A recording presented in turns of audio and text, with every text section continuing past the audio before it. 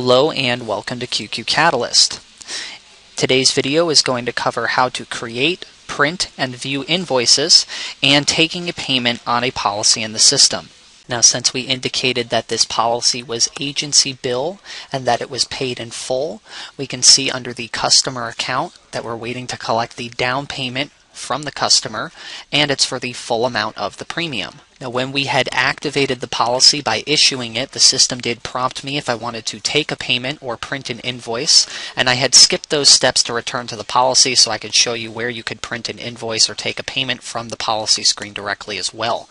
When we're viewing the billing tab, I do have the option to print an invoice directly from the associated bill. There's a link right here.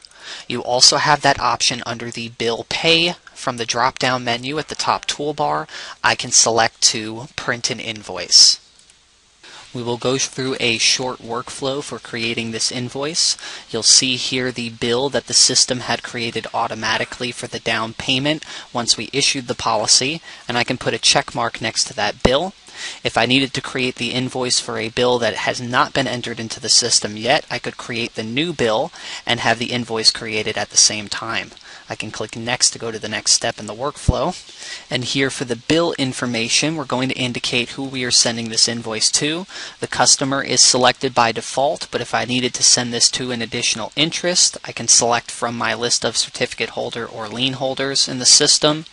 I could also put other, and I could type in the full name and to the attention of address for whoever this bill needs to be created for. Any notes that you would want to have appear on the printed invoice, we could indicate here, and then we could click Finish for the system to generate the invoice. So the invoice has been generated. I can click here to view the printed invoice right now. A copy of this invoice is automatically created and put into the Files tab under the customer or policy it's related to. So if I do click OK without viewing the printed invoice, I can always access it at a later time. Let's go ahead and click to view. So our invoice is going to open up in a separate window. So you'll want to make sure you have your pop-up blockers allowing pop-ups from QQ Catalyst. We'll see the agency information and the customer information here, information on the policy and the bill, and any of the notes that we had wanted to include would be displayed down here as well. I can choose to save or print a copy of this invoice and I can close this window when I no longer need it. We can then click OK still to return to the policy. And note that it redirects us to the Files tab, and as I mentioned, a copy of that invoice is automatically attached to the customer and policy. So if I need to bring up a copy of this again, we can do so. Now, once the invoice has been sent out and the customer is ready to make a payment, we can take a payment by going up to the Bill Pay option in the toolbar at the top and selecting the Take a Payment option from the menu. Again, Catalyst will take us through a quick workflow where we can select the bill that we're taking the payment against, and I can click Next. If there's any agency fees to charge with this bill, we can click here to add as many fees as we need. The list of agency fees is set up in your global preferences by your system administrator. And the last step in the workflow is the payment details. We can see the down payment amount that we're collecting, any additional fees that we're charging and collecting at this time, and then the total amount here listed below. I can indicate the payment method. If it was a check, we could indicate the check number, so you'll see the notes field change. If we are directly uploading the premium payment to the carrier's website, I can check the direct upload box. This is going to split out any agency fees, allowing me to collect those as a different payment method. So if the premium was paid in check and the $10 agency fee was paid in cash, we can split those payments out. And I can click Finish. Again, you can include any notes that will appear on the receipt. So the system will generate you a receipt once you have recorded the payment. So again, I can click here to view the printed receipt, which will open up in a separate window.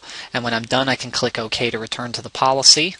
So this would be a copy of our receipt. We can see our agency fees separated from the policy premium here, and the payment details will show that we took those in two different payment methods. Again, I can print a copy or save a copy, and I can close this window when I'm done and click OK to return to the policy.